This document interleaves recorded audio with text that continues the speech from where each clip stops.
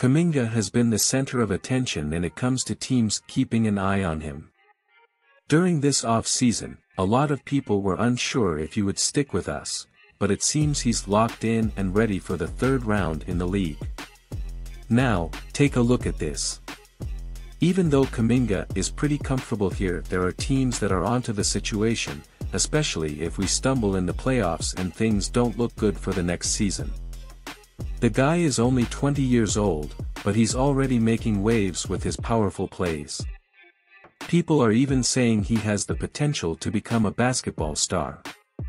To give you an idea word, is out that Kuminga is on the radar of two Eastern Conference teams. Whether he'll showcase all this potential with us is one of the questions keeping us up during this break. If the answer is of no, then things might heat up because there won't be a shortage of interested parties for our young star. Listen, the first team that's being seen as a possible destination for Kuminga is the Charlotte Hornets. They're looking to improve that 27-55 record, with a comeback from Miles Bridges and more presence from the all-star talent LaMelo Ball.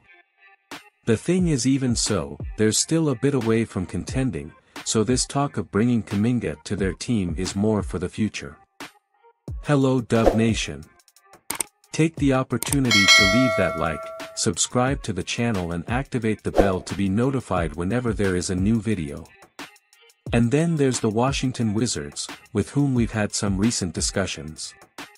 Kuminga wasn't part of that Jordan Poole for Chris Paul trade but they say the guys are keeping an eye on him if he becomes available. The Wizards are in a rebuilding phase they've put Beal and Porzingis aside and they're banking on Patrick Baldwin Jr. and Ryan Rollins. However, Kuminga possesses a raw talent that these guys don't have well now we'll have to wait and see if these teams will make moves and offer a sweet deal for our Kuminga. It all depends on how he starts the next season and whether he'll continue to be a key piece of our future here at Golden State.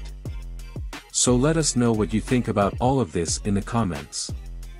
Like the video subscribe to the channel if you haven't already, and don't forget to enable notifications to stay up to date with all the hot news.